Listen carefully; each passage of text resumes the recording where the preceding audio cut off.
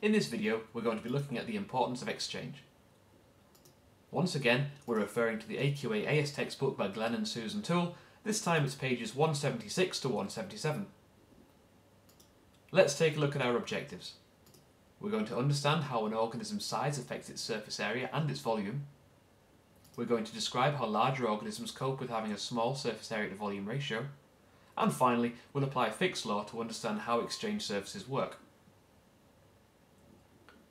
Now before we get started, you're going to want to review your notes from AS Unit 1. The topic's about membrane transport. Sorry, but even though you've already sat the exam, the information just can't leave your head, so here's a great link from S-cool.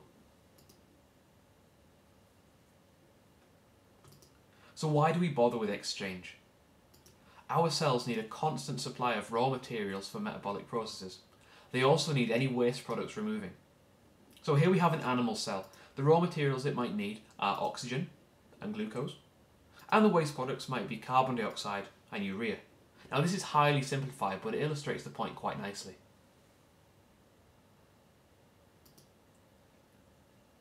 So here's some substances that are exchanged from cell to environment and vice versa. We've got respiratory gases, that's oxygen and carbon dioxide. Nutrients, such as glucose, fatty acids, amino acids, vitamins and minerals.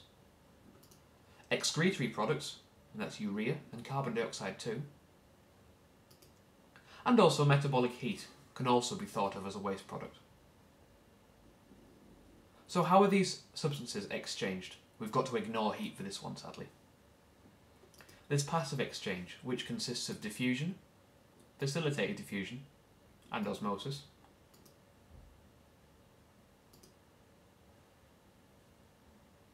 And we've got active exchange, which is active transport, where energy in the form of ATP is required.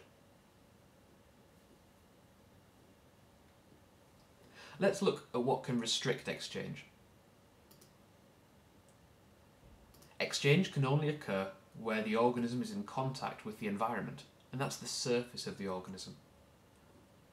There's a problem with this, because the cells that are using up the raw materials are within the organism, not just on the surface. So these cells are making up the volume of the organism. And this becomes a, a big problem as the size of the organism increases. As we can see in the diagram, a single-celled organism has a small surface area, but the larger multicellular organism has a larger surface area. No problem there, you say, but we need to compare surface area to the volume. Here we have a 1mm squared cube. It has a surface area of 6mm squared and a volume of 1mm cubed. Therefore, it has a surface area to volume ratio of 6 to 1. Let's increase the size of the cube to 2mm. Surface area is now 24mm squared volume is 8 millimeters cubed. Hmm. The size of the cube has doubled. The surface area has got 4 times bigger, but the volume is 8 times bigger. The surface area to volume ratio of this cube is 3 to 1. Definitely getting smaller there. Let's try that one more time. We're doubling the size of the cube again to 4 millimeters. Surface area is going to be 96 millimeters squared. That's a fourfold increase. The volume has increased to 64 millimeters cubed, and that's a massive 8 times increase. The surface area to volume ratio is now 1.5 to 1. That's definitely getting smaller as the organism gets bigger. So how can the organism overcome this problem? If evolution hadn't found a way around this, life would be very small indeed. Some organisms have developed a flattened body shape to minimise the distance between their cells and the environment. Other more complex organisms have developed specialised exchange surfaces. The flatworm is a great example of the flattened body shape.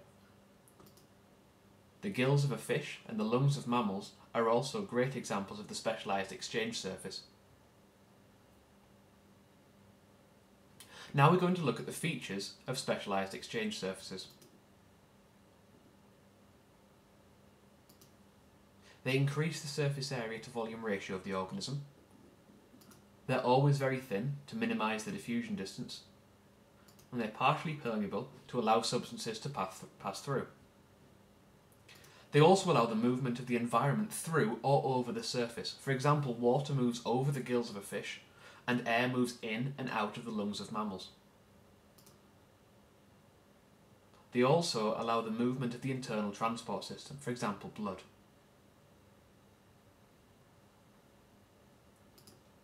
Let's briefly revisit Unit 1 and look at Fick's law.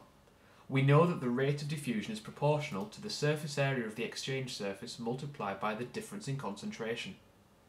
And all of that is divided by the length of the diffusion pathway. If we increase any of the factors on the top of the equation, surface area and difference in concentration, this results in faster diffusion. Conversely, if we decrease the factor on the bottom, this will lead to an increase in rate of diffusion too. This all relates to the exchange surfaces. Larger surface area, nice thin diffusion pathway, keeping the concentration gradient as large as possible by moving the environment and the internal transport system through or across the surface. All really useful, all really important. Let's summarise this. Cells must be able to exchange substances with their environment. And this is difficult for larger organisms due to a reduced surface area to volume ratio. Flattened body shapes or specialised exchange surfaces allow for better exchange. Exchange surfaces increase the rate of diffusion by favourably changing the factors of Fick's law. To round things off, here's some extra reading.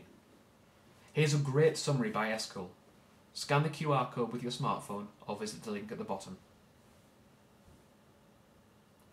Finally, here's an interesting piece of extra reading that explores the implications of surface area to volume ratio with a little added humour too.